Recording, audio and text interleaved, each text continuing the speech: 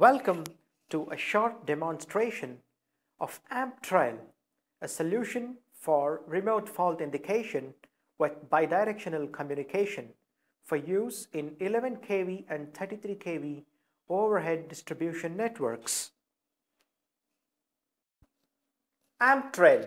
The solution consists of overhead line fault passage indicators called FLA 3.1 mounted on distribution lines manufactured by Electromechanic GmbH Germany and remote terminal units or RTUs mounted on distribution poles.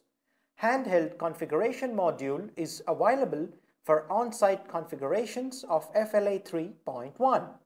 In the video, we can see a FLA 3.1 indicator mounted to an installation adapter with which it can be installed on energized lines using hotsticks.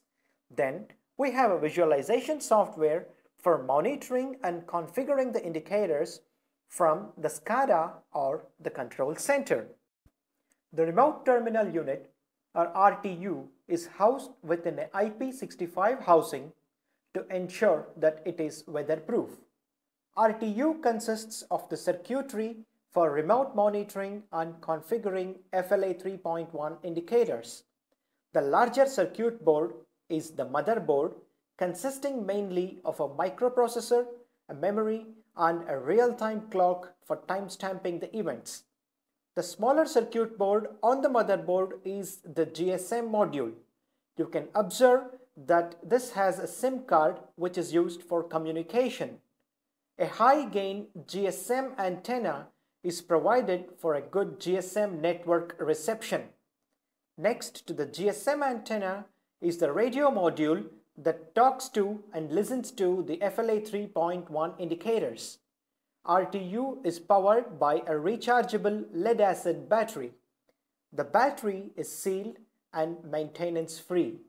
The only cable that comes out of the RTU is from the battery charger located below the motherboard. This goes to the solar panel. Entry gland used for this cable is also IP65.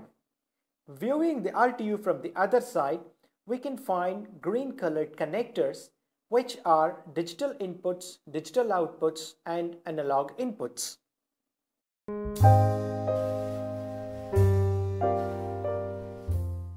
Now, let's look at the visualization software.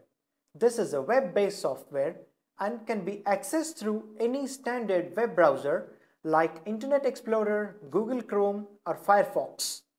Users must log in with their credentials at the login screen. The welcome screen consists of different widgets that can be added, deleted or reorganized. Information about the number of RTUs, their location on the map and their status are indicated here. To navigate further, we click on the Inventory tab. Here, we can view the indicators coming under a particular RTU. Each RTU can address up to 9 indicators within its RF range. Information about the feeder, status of the RTU is available here. The matrix shows 9 indicators.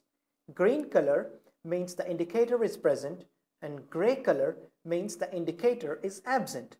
In the beginning of the video, we saw that physically there are two indicators. One indicator number 1 mounted on a line and indicator number 9 mounted to the installation adapter kept on the table.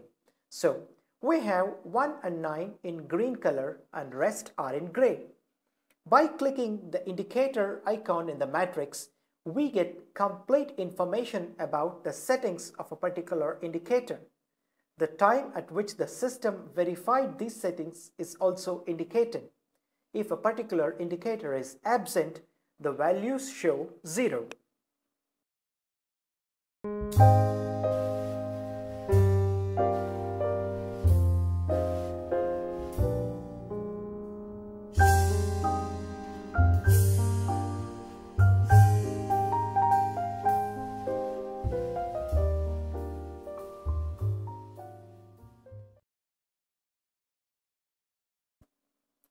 We will now show how faults are indicated on the software screen. We have FLA 3.1 number 1 mounted on a conductor which is connected to a low power current generator. We inject a current just above the trip current of the indicator and immediately switch off the current generator. This will create a situation just similar to a permanent fault. The indicator starts flashing and the red disk also comes up. The indicator then communicates this information to its RTU on RF signals and the RTU connects to the server or the SCADA through GPRS and conveys this information. Color of the indicator changes from green to red on the software screen indicating a fault.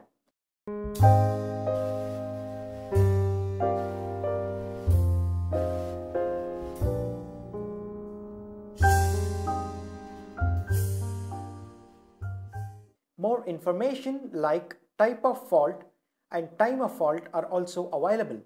The server or the SCADA which is equipped with a GSM modem will then send a text message to the concerned maintenance teams about the fault information.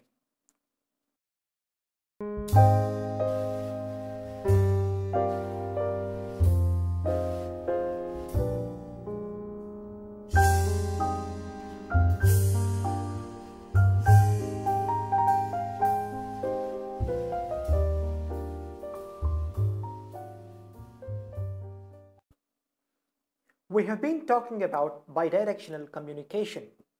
Let's now see how it works. The indicators have configurable parameters like trip current, reset time, response delay, etc. which need to be configured as per network requirements. These parameters can be configured from the SCADA or the server. We shall now change the settings for indicators numbered 1 and 9 which are physically present with the demo RTU. Before we change the settings, let's first make a note of the existing settings. We then navigate to the RTU configuration where all the settings are available and then choose FLA3 settings.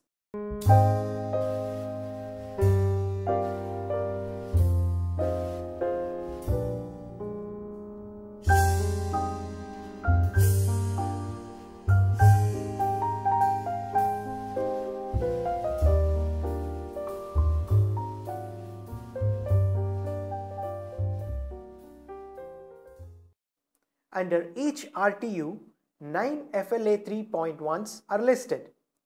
We will now make a few changes and remember these changes so that we can verify if the same has been updated.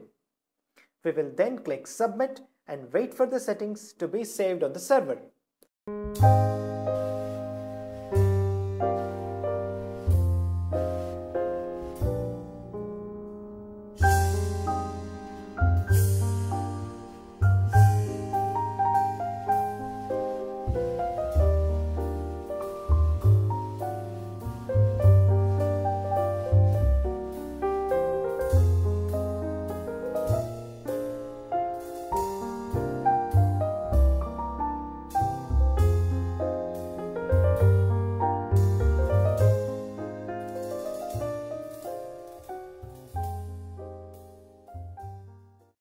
Now we go to the inventory view to check for the new settings. The RTUs will connect to the server or the SCADA center at predefined times to report their health and check for any new settings. If they find new settings in the server, they will pick them up and update the indicators with these settings.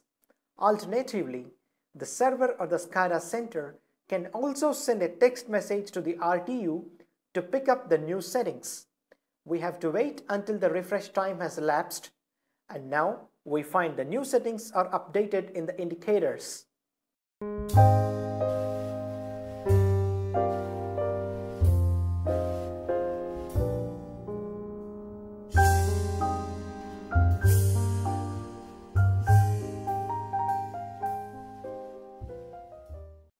This is a brief video about AmpTrail. We are sure you will have many questions. Do not hesitate to write to us.